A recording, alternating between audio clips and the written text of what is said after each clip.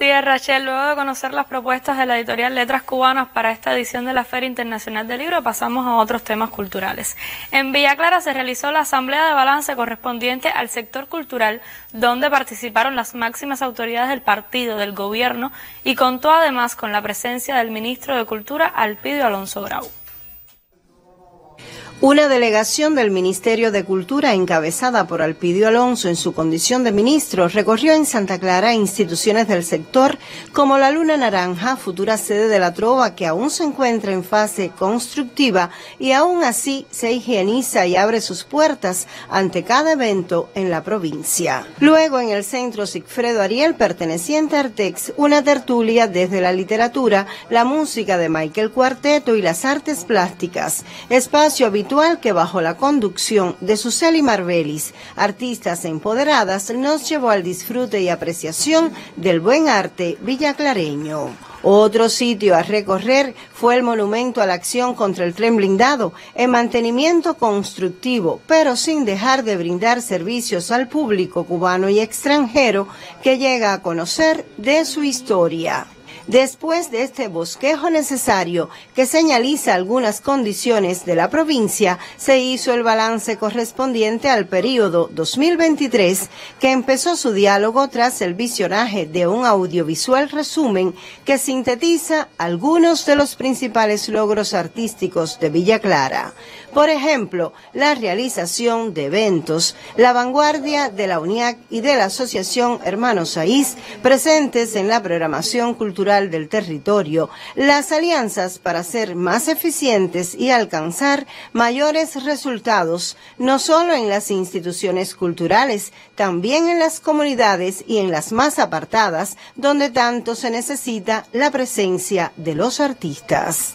Para el 2024, la cultura en Villa Clara se propone aprovechar más y mejor al movimiento de artistas aficionados. Requiere impulsar el papel de las editoriales, aplicar mejor la Ley General del Patrimonio con el apoyo del territorio. Se insistió en diseñar una programación que mantenga su calidad y a la vez factible ante los diversos públicos, priorizando las zonas vulnerables seguir apoyando a la enseñanza artística que transmite valores culturales y llegar con una cultura real y creíble por su esencia misma a los públicos universitarios. Son otros de los retos del momento que requiere dudas de artistas comprometidos y bien formados en todos los órdenes de la vida. En el balance villaclareño fueron reconocidos los consejos de artes escénicas y de artes visuales, los centros provinciales del libro, de cine y de superación, también el Museo Provincial y el de las Parrandas,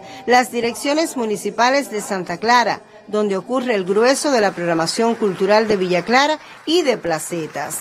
En cambio, la Unión de Historiadores señalizó el apoyo permanente de la cultura en la difusión de la historia.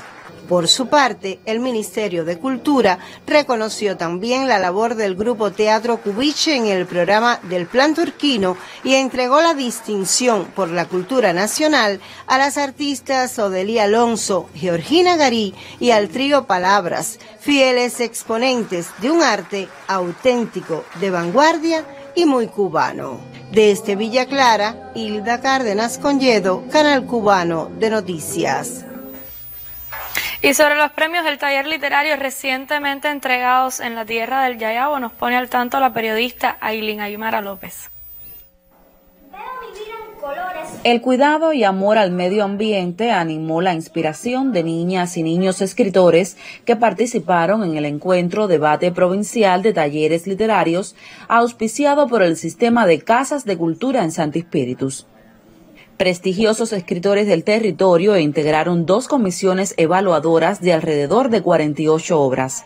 Los niños aprenden a utilizar herramientas desde el punto de vista de eh, narradores de todo tipo, primera, segunda, tercera persona, eh, elementos como por ejemplo el dato escondido, la caja china. En el caso de la lírica aprenden, por ejemplo, qué cosa puede ser eh, para ellos un recurso literario, qué cosa es el objeto lírico, el sujeto lírico, qué cosa es una décima, por qué es un minicuento y por qué no, eh, a qué se refiere cuando se dice en otros espacios literarios una prosa poética, por ejemplo, que no es narrativa, pero parece eh, ahí se les eh, otorgan a ellos habilidades para trabajar con estas técnicas y con estas eh, herramientas para escribir en un futuro sus obras.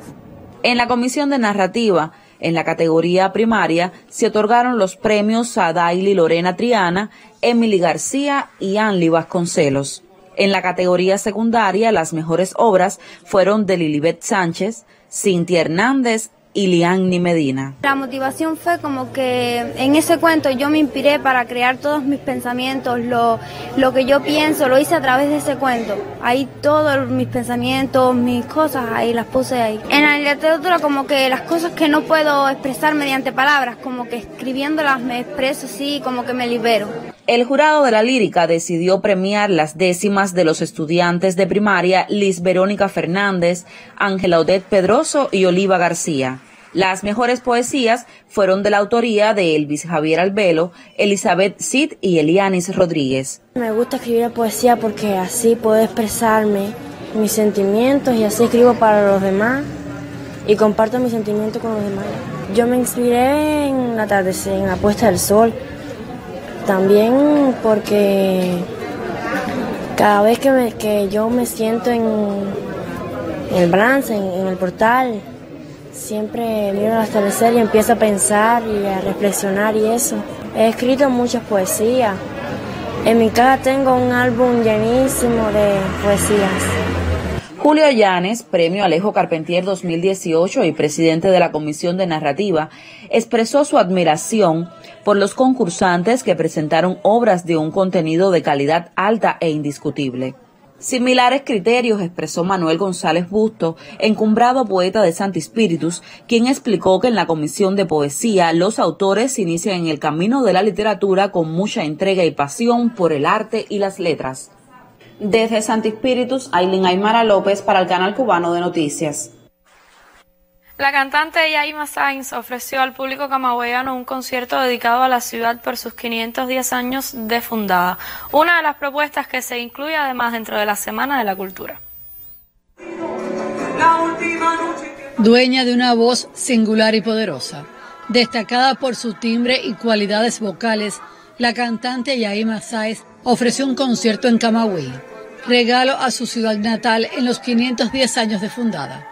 Acompañada por el dúo Confluencias, en el teatro principal interpretó temas de un repertorio del patrimonio musical cubano que transitó por varios números con versiones contemporáneas. Lo que queríamos era refrescar el repertorio, por supuesto la mazucamba, todos estos temas que me han acompañado durante la carrera y, eh, y con la peculiaridad de estar eh, acompañadas con la gente, el dúo especial este que tenemos aquí en Camagüey, el dúo Confluencias. La cantante muy pronto presentará su cuarta producción discográfica nombrada 12 joyas, creaciones del prestigioso compositor Roberto Valera, Premio Nacional de Música 2006.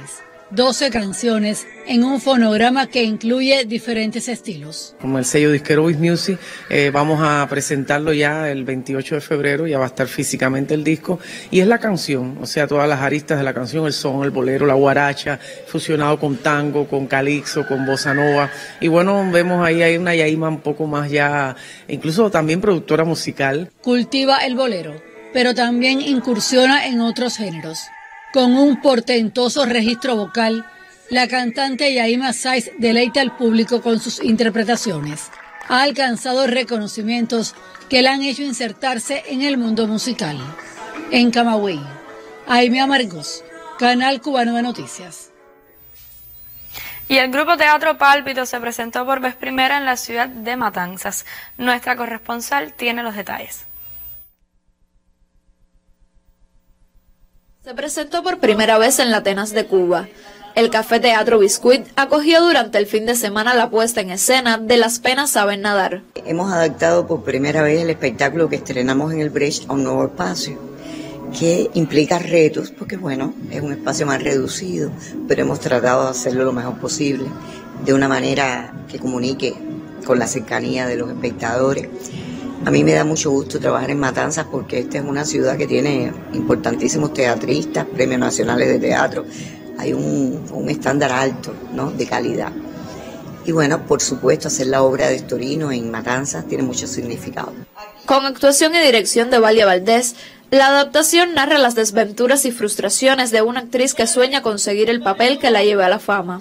Además de estas puestas en escena, Teatro Pálpito prepara más presentaciones para el público yumorino. El 30 de marzo vamos a estar en Unión de Reyes, el pueblo donde nació Estorino, y vamos a presentar el monólogo y tenemos otras ideas para otras provincias. Teatro Pálpito surgió el 25 de marzo de 1993 con Ariel Bouza Quintero como su director. A lo largo de su carrera, la agrupación ha sumado disímiles galardones, entre ellos varios premios Villanueva de la Crítica y premios a Villanueva de puesta en escena. En Matanzas, Daniela Pujol Pérez, Canal Cubano de Noticias. Y hasta aquí las informaciones culturales. Tenga usted un excelente día.